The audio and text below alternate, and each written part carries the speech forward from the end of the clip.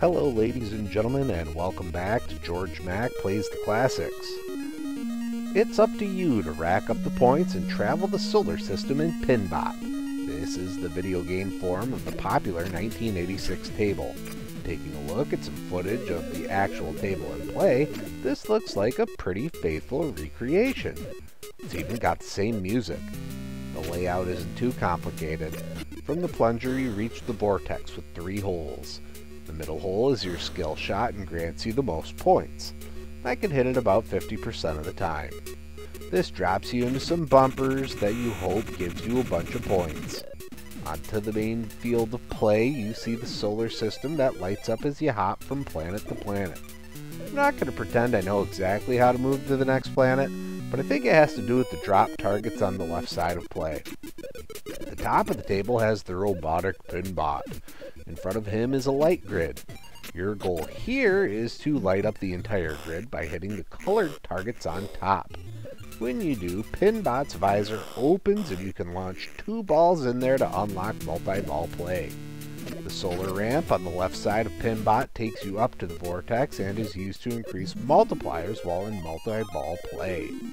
Between the ramp and the Pinbot is the eject hole. This is entered to gain bonus points and an extra ball if you are able to unlock it. I did something to change the color of the table when I reached enough points. Not sure, but I think it's because I reached the sun. Then I did it again, and a flying creature of some sort started distracting me and giving me points if I ran it over.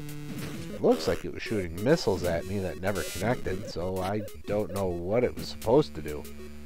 My ball turned into a wedge at some point, but I'm not sure if that was beneficial or not.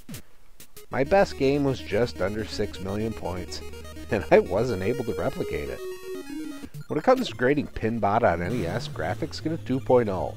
My main problem is that nothing looks distinct from anything in its vicinity. The different bits of the playfield blend together. Sound gets a 2.5. I've said it before and I'll say it again. The music is very obviously created by Rare. They have their own sound that is enjoyable and distinct. Sound effects are what I expect from pinball. The digitized robot voice is awful. Gameplay gets a 2.5. It's pinball. I actually got a bit of use out of nudging the table, which is rare for me. Difficulty gets 2.5. If your timing or angle are off by a hair, you'll lose the ball or miss a shot.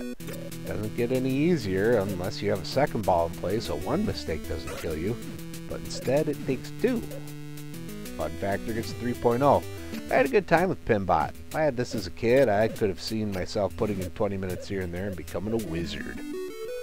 Overall, Pinbot earns a 2.5 and gets a B minus. If you like pinball, you'll get some enjoyment out of Pinbot. It's not the best video table I've ever played, but it works. Well, that's going to do it for me for today. Please make sure to like this video. Let me know what you think of Pinbot in the comments. Please subscribe to Head Drop Productions here on YouTube because we want you here for each and every video we release because it's your destiny.